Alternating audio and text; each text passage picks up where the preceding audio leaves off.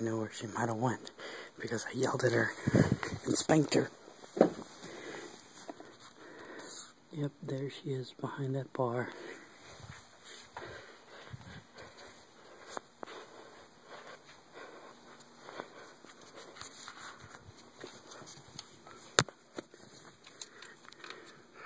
Oh, and she just walked away from me. Oh, she's mad at me. Okay.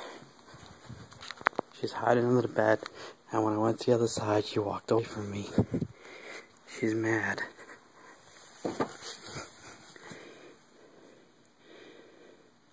Yeah, she doesn't even want to look at me.